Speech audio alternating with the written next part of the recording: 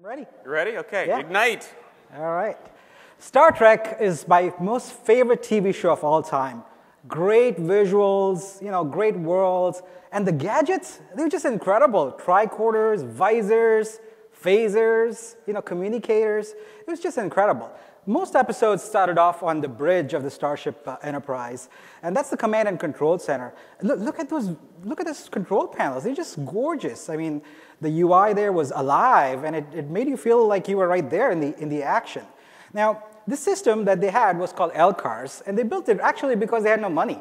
It was very expensive to keep creating knobs and lights and things like that, you know, for all the different sets. So they went with this. Let's take a, a little closer look at, at this uh, graphic here. Now, what you see here is that the control panels are really well grouped together, very simple. Uh, the colors are very muted, uh, and it's very simple, but look at that, it's just numbers. There's no text. So can you imagine that they are attacking and Captain Jean-Luc Picard says, fire photon torpedoes.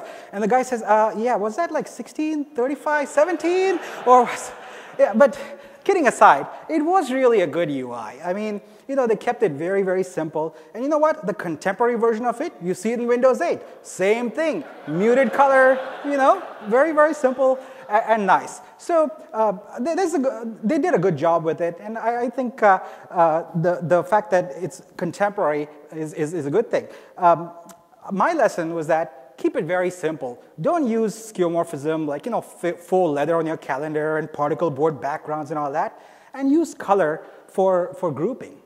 Now, uh, that's the, the, best lesson I got from uh, about displays. Now, for the past decade, the industry titans have all, you know, trotted out one after the other the tablets, Gates and Jobs and Ballmer. But you know what? They, they, they were beat by Captain Jean-Luc Picard long before any of these guys were there. Picard had an awesome iPad. It was called the Pad, and it was a great touch device. He would get all his stuff done directly on there. It was just fantastic. It, just worked. And my takeaway was that if you have a touch UI, you know, provide instant user feedback. It's like you touch it and you get some feedback. So the other thing I learned is that critical hardware functions, they should be uh, uh, in the hardware and, and not really in the virtual device. Now, Another thing, uh, device you saw in Star Trek very often is the replicator, primarily used for food. The canonical example is where Picard would go and say, tea, Earl Grey, hot, and of course he would usually get his cup of tea, but you know, it's voice control and it wasn't always reliable on the show. I remember, I remember he had a potted plant once, you know. So this voice problem was there quite often. It was sort of a recurring theme in many episodes. And you know what? This is something that is there in our world too. Can anyone say Siri? You know, it's really difficult to, to create user interfaces with, with voice. And that's why you see all these pro problems over and over again. People try, but they don't get it my big takeaway about voice is that it just doesn't work. This shit does not work. you know, maybe you can check back in like five years and yeah, we'll, we'll, we'll, see, we'll, see, we'll see what happens uh, then. But for right now, it's not good. Speaking of not working, another thing that I noticed was the uniforms. Now, take a look at this. What's the first thing you notice? Uh, it's mostly men. Maybe what's the second thing you notice? accessibility. How the heck do you go to the bathroom? So, you know, but that's what they got wrong, but they did get something right. Commander uh, LaForge was blind, and he had this cool visor that actually allowed him to see things in the electromagnetic spectrum.